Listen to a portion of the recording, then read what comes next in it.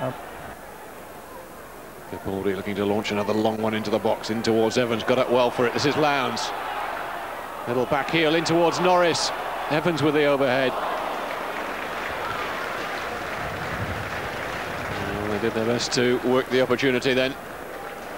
Evans, Lowndes and Norris all in there. Eventually, though, the rather spectacular effort from Michael Evans, falling rather easily for the goalkeeper.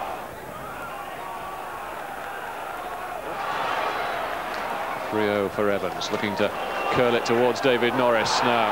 The foot seemed a little high then. The referee deciding that was unavoidable from Ryan Brown.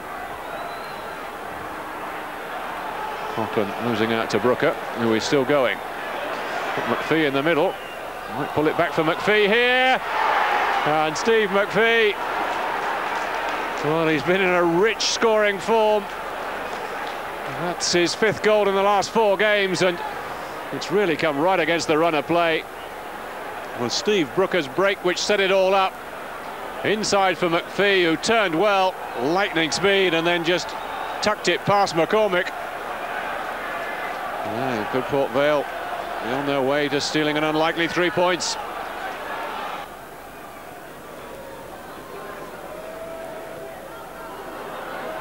This is Gilbert. Killed in for Nathan Lowndes. Phillips trying to get on the end of it. Now Gilbert again. He's found Michael Evans with a bit of space on the far side. So close from Evans. For all the world, that looks as if it could be the equaliser. Michael Evans finding time and space in the penalty area. But really a shot that summed up the afternoon so far for Argyle. Just wide of the target.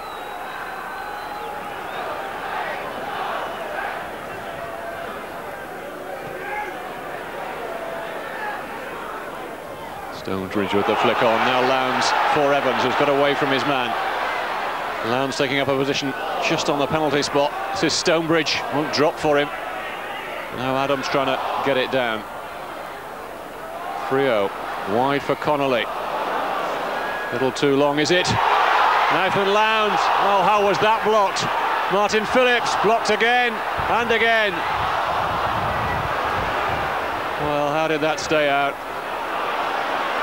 Bit of defending to do at the other end as uh, Steve Brooker makes a break. And it's well won by Connolly. And we will look for Evans, who's offside, but well, the Vale goal then leading an absolutely charmed life.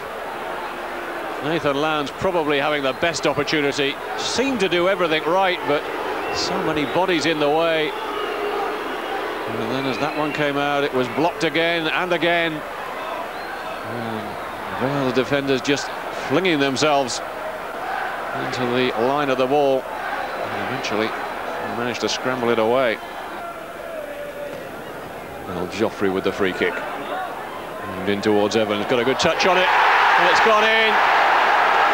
Yes, the ball is over the line. Martin Phillips has got it. Well, it's been a long time coming. There might even have been an element of doubt about it. The referee and his assistant have given it, and Argyle are back on level terms.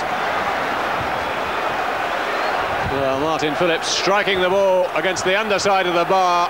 Now, referee and linesman deciding that the ball had crossed the line.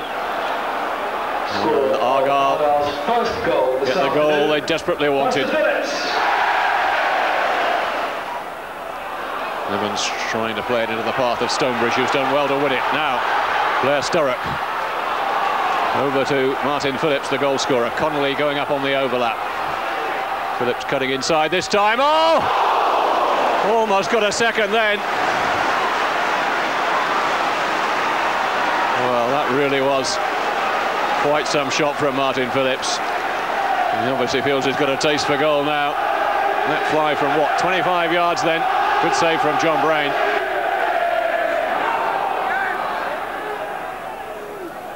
Aljofree. Held in towards Michael Evans once more.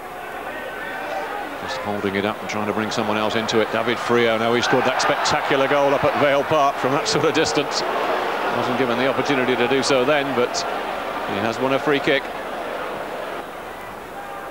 Rio and Adams over the ball. It's going to be Hasney Aljofree to strike it. Oh, he's hit the upright. And are denied again by the woodwork.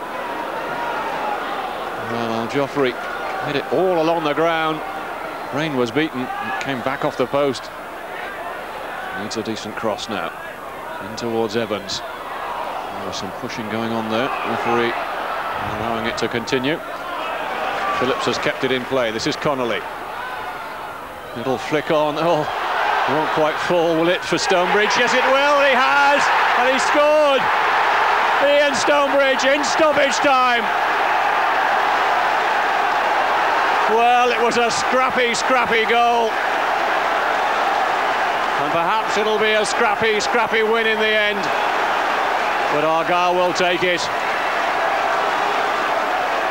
Ian Stonebridge deserves the plaudits for the way he persisted with that challenge. Didn't get a great strike on it, but it was enough to beat John Brain. And enough, it looks to have secured a valuable three points for Plymouth Argyle. Obviously, we've been, been at the top of the table for a long time. We've dropped off it. You know, people are now giving us the respect we merit. They're working very hard against us. They know how we play now, so they're, they're, they're combating our our, uh, our threat. And we've just got to keep digging deep.